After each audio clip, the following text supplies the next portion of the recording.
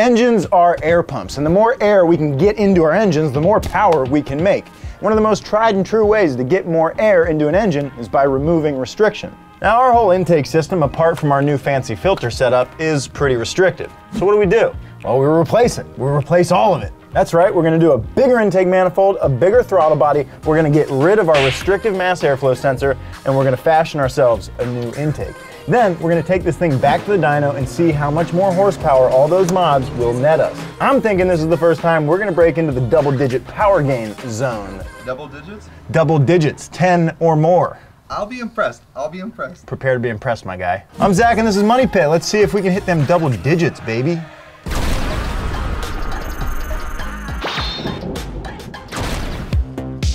So a few episodes ago, we took the Miata to the dyno and we made a pretty unthreatening, but altogether not too surprising 112 horsepower. Now we've, uh, we've done an intake, we've done an exhaust, we've done an ECU, we've done a few things that should get us a little bit of power, but we really haven't cracked in to the real power gain. So let's take a look at what I've got for the car. For our intake manifold, I've got this sick Skunk 2 intake manifold for the Miata. So this thing is a little bit bigger in volume and promotes airflow to make more power.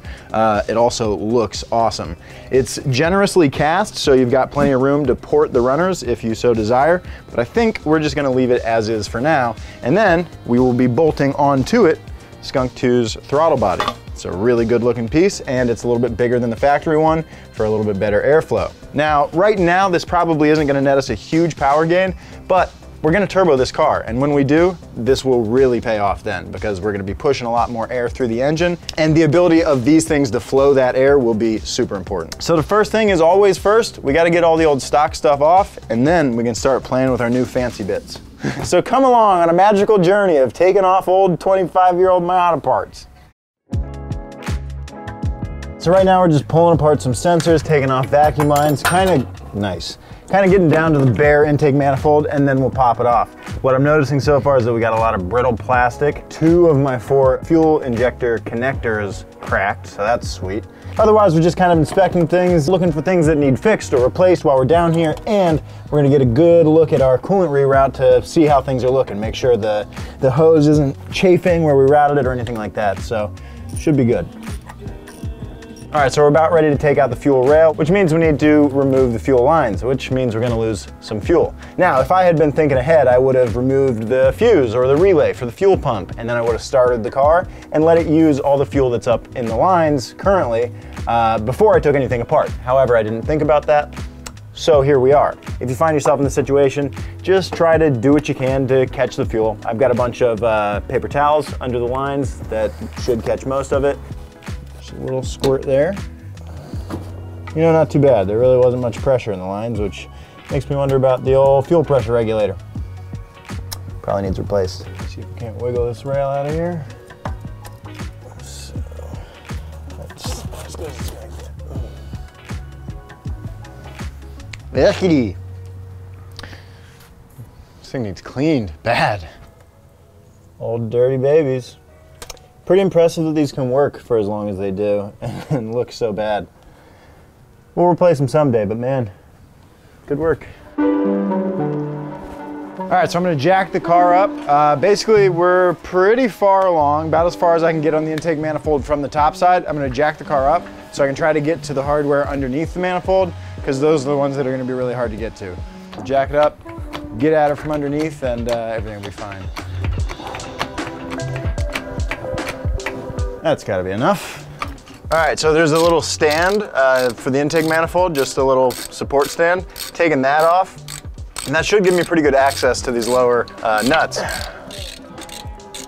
All right, so we got to all the lower hardware. I mean, it wasn't fun, but it wasn't that bad. And I'm on my last nut. I think this thing's ready to come off.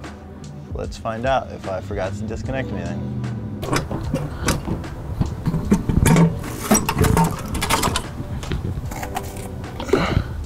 Like a like I caught a fish. Yeah, I see it. All right, well there's that grimy old piece of trash. I got some cleaning to do, that's for sure. But hey, that wasn't so bad. That's basically like we're at the halfway point, right? Now from here on out, we're just putting stuff back on. Let's take a look at what we're putting on and compare it to this old trash. All right, so here are our stock parts, our old stuff, and here's our new stuff. So we'll take a brief look at the differences. They're pretty simple. Uh, in terms of the throttle body, the old throttle body is about 58 millimeters in terms of the uh, diameter of the opening, and the new one is 64 millimeters. So it's bigger, so more air can freely flow through. And then when you look into the uh, manifolds, this one doesn't look like it's gonna flow too well. Looks a little, just looks a little restrictive. And then you look in here and you see these nice, big, smooth bell mouths that just look built to flow. And this, uh, this is a two-piece plenum, so you can take this thing apart and you can add like a spacer here to increase the volume of your plenum to suit your needs. So the changes between these parts aren't super drastic, it's just that these are a little bit bigger and they improve flow. Again, that's all we're doing here. We're trying to remove restriction and improve airflow. Uh, so these should do that pretty well. All right, so before we go ramming this manifold onto the engine, we gotta prep it, we gotta get it ready. We gotta put some fittings in for all our vacuum lines and all the things we need to connect to our manifold. So that's what I'm doing right now. Uh, it's gonna be pretty easy. These are MPT boys. This wrench is too big, but look at me using it anyway.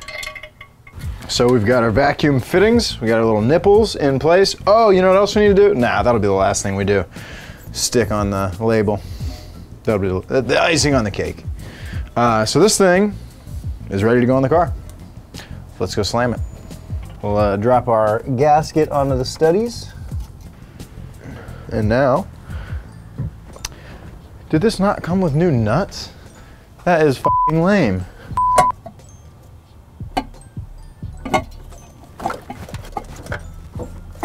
So the runners on this manifold uh, come down a little bit lower than the stock ones, and it's contacting the wiring on top of the starter. Uh, I've already rotated the positive cable from the starter, and that didn't quite give me enough, but I think we'll be able to make it fit. We just got to do a little, a little rearranging. Intake manifold is totally on now, and we're ready to focus our efforts on the throttle body. So we got to swap some stuff over from the factory throttle body to the bottom of the new throttle body. So we'll go do that on the bench. Then we can put the throttle body on and start worrying about cleaning up all this stuff, putting the fuel system back on, these kind of things. We're getting there. All right, so this, this little coolant tray, and I think this is our idle air control valve, our idle bypass valve. Oh yeah, I got to figure that out for a new intake. Mmm, right. Oh God.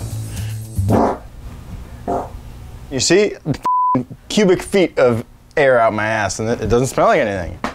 Such a bummer, such a letdown. Ah! Oh! On demand. Here's one way to make a nice new throttle body look like. All right, this thing is ready to install. Let's go do it.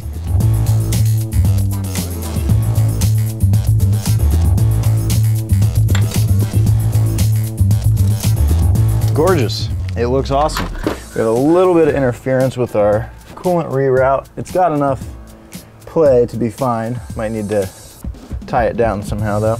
All right, yeah, I think we're gonna be able to work with this. Uh, I'm gonna connect the coolant lines to the bottom of the throttle body. Then we'll start doing the fuel system. I think this is going to work.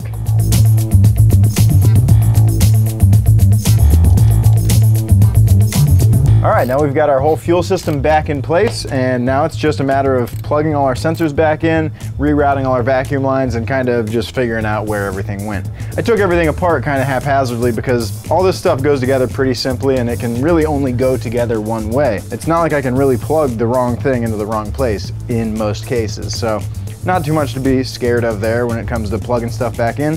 Just pay a little bit of attention and you'll be fine. Broken connectors on there.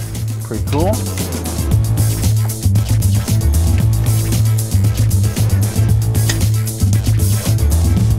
Now, one of the only things I have left to do as far as the manifold and throttle body are concerned is mount up the throttle cable and connect it to the throttle body.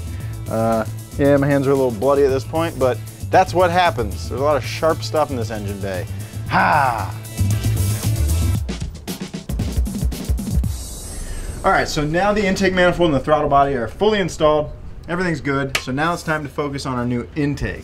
Now, the truth is it's gonna be a little bit janky because it's totally temporary. Because we're gonna turbo this thing soon, and when we do, our new intake will be useless. So I just bought some odds and ends, some silicone couplers, and some pipe, and we're gonna make an intake that'll go over to our Racing Beat filter, and it'll let us delete our MAF. So I'm gonna have to make a few cuts. We've got most of our bends in silicone. I'm gonna have to weld a bung for our new intake air temp sensor into the pipe. And I'm gonna have to weld a nipple for our idle air control valve uh, so that we still have a good idle. So we're gonna chop up some metal, do some welding, make an intake.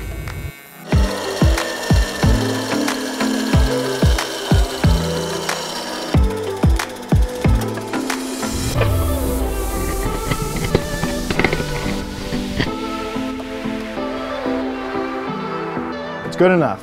It's a little janky, I'm aware, but it's all right. Uh, it's certainly more free-flowing than the stock stuff with the MAF, so it should perform pretty well, even if it looks a little atrocious. All right, so on the idle air control valve nipple, uh, I found a little AN fitting laying around. Uh, totally not the right thing for the job, but I'm gonna weld it onto one of the tubes and it'll work good enough. Where's my hose? It'll basically just kind of thread into the hose. but I'm gonna open it up because it's kind of small. Originally there's, you know, a lot more airflow. So I'm gonna open this up a little just to try to get, make sure our idle doesn't do any weird stuff.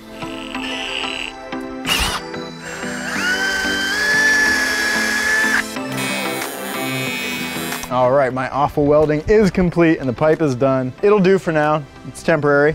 Uh, so now I've got a few things left to button up before she's ready to start up. I gotta wire up our new intake air temp sensor, then get that uh, plugged into the Megasquirt, get it all set up there. And then I have to relearn the throttle position sensor position uh, in the Megasquirt. Then I think this thing is ready to fire up and then we go to the dyno. But we're gonna do that tomorrow.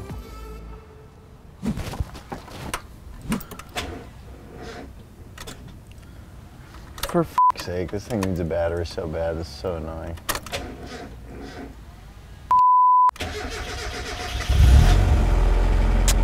No big deal. All right, well, I guess that means it's time to go dyno it.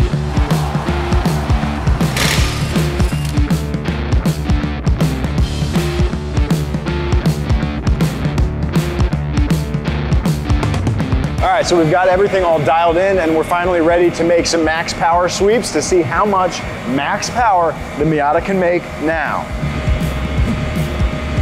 Everybody out there, I need you to cross your fingers for me for that 122. Come on, come on, come on, come on, come on.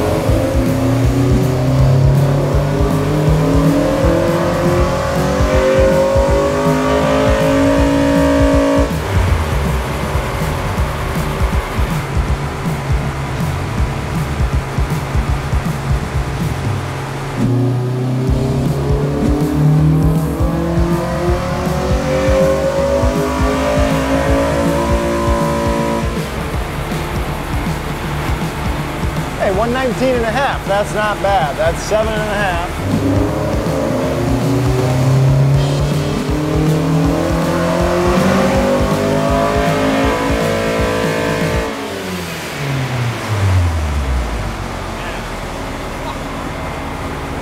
Wow. 120.07 horsepower. We have seen the 120s. Still not 10 horsepower, but I'll take it. I'm in the taking mood today. I'll take anything. Okay, so we just got done dynoing and we made a blistering 120 horsepower. Now the car, when it came in today, made 112 horsepower. I wanted to make 10, so this isn't quite the 122 we were looking for, but still an 8 horsepower gain on a 112 horsepower car is still like an 8% increase, which is pretty good statistically speaking. And again, it's really ultimately, honestly, not about the numbers that we make today because uh, we're getting this thing ready to turbos. It's all too easy to get wrapped up in the numbers that you make and it's honestly, it's just not really about that. This car, as it is, all 120 horsepower, absolutely rips, even without a turbo. So I think to celebrate entering the 120 horsepower zone, I'm gonna take this thing for a drive today. So Thank you guys so much for watching. I appreciate it so much. I really do. Couldn't do it without you. Thank you so much. We'll see you guys next week. In the meantime, don't forget to follow me on Instagram at Zach Jobe and follow Donut across all social media at Donut Media. I'll see you guys next week. Goodbye.